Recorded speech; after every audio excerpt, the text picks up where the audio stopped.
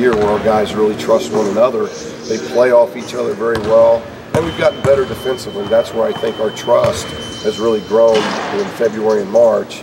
Not so much of the offense, but the defense. We built some more trust there that we didn't have uh, in the December game. Look at a, um, Just dying over there. starting to sweat. No, I'm kidding. Go ahead.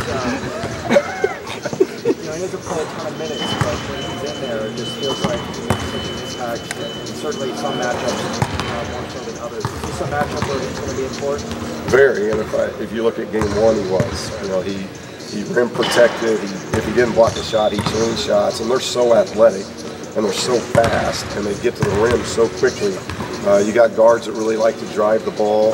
You got guards that really attack in transition, and Bam runs as good as any big man in the country. So having EK out there, he's just a presence around the rim, and that's why, you know, hopefully his health continues to get better. We anticipate it will uh, this week, but uh, he's been that way for us all year. He'll get two or three dunks a game. He'll get two or three blocks a game. And I don't think he had a rebound the other night in that game, and yet he was such a difference maker. I just thought his body and his physicality uh, was a difference maker for us, and, and, those minutes are always crucial that he's in there.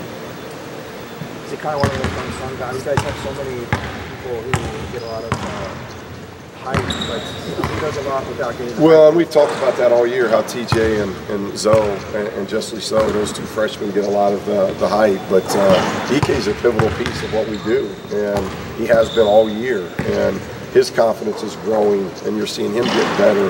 And I thought he was a lot, he, he, had a lot of raw to him offensively at the beginning of the year.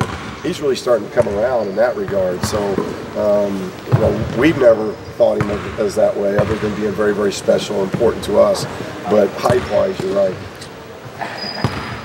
All right, thanks, guys. Okay.